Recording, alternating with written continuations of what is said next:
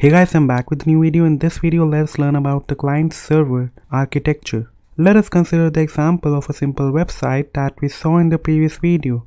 This first website must have been written in some machine which has that code. So let us say we have a machine which holds the HTML, CSS and JavaScript files for some website that was created.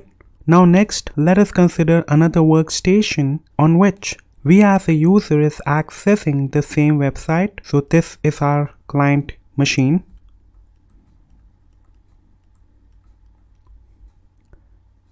So we as a client will be accessing this website using a tool called as browser. So browser window now the browser in order to render the website for us needs the HTML, CSS and JavaScript files in order to present it to us. But the problem here is that these files which form our website are sitting in some remote machine, right? So what can the client do in order to access these files so that the browser renders the website for us? So what we as a client need to do is to make a connection with the server, right? For that we need to make a request to the machine which holds the files that the browser running on our system needs in order to render the website. The machine which holds the files is known as the server, right?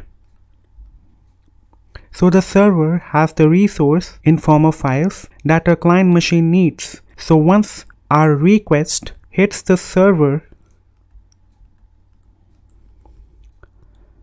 The server will respond back with the files so that the browser on our machine can run the code and render the website on the screen of our machine, right? So the server will send back a response with these files so that we can render the website in the browser. So now we are clear with the client server architecture. Let us discuss about static and dynamic websites. Static websites so what is a static website? A static website is a website that looks the same irrespective of the user who is trying to access it. So first point is it looks the same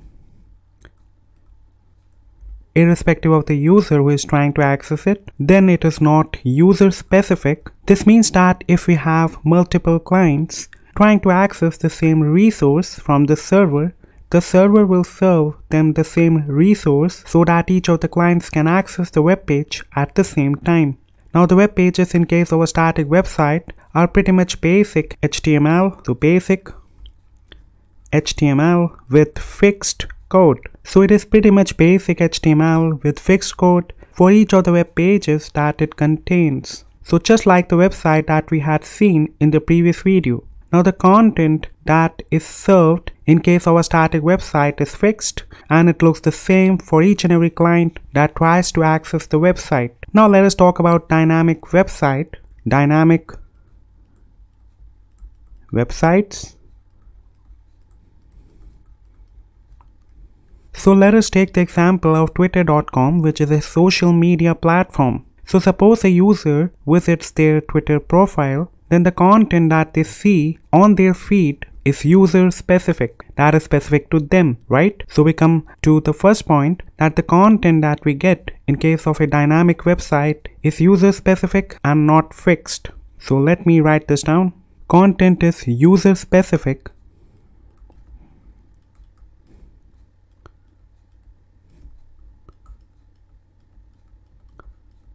meaning that it is not fixed right? So in other words, the content that is served to the user in case of dynamic websites is not static. So in essence, this means that dynamic websites are smart enough to serve you the content that serves your needs or you can say the content that is only relevant to you.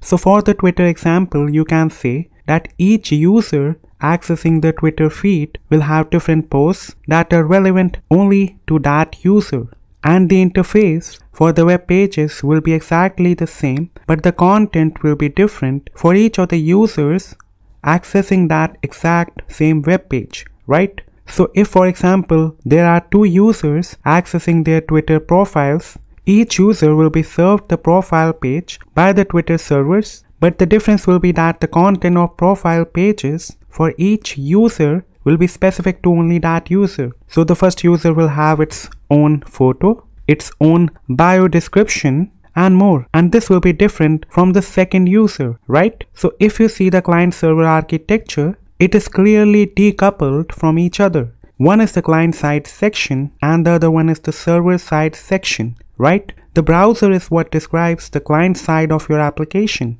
It doesn't care about the content of the website that it showcases you. All it does is making a request to the server to fetch the relevant files that are needed to showcase the entire website to you. So whatever you see that gets rendered in the browser describes the front end of your application. The presentation part of the rendered content is made using HTML and CSS.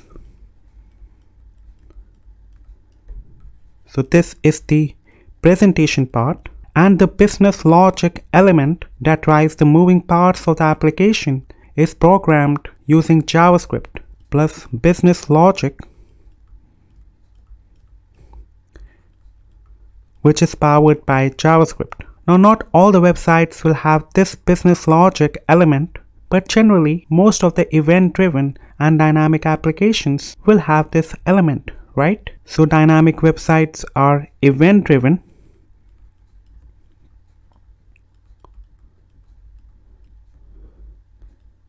they do have business logic and they are reactive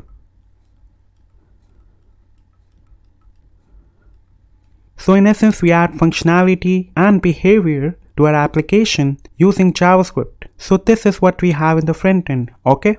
So to sum it up, front end is the part that you see in the browser and interact with. So front end is basically the visual aspects.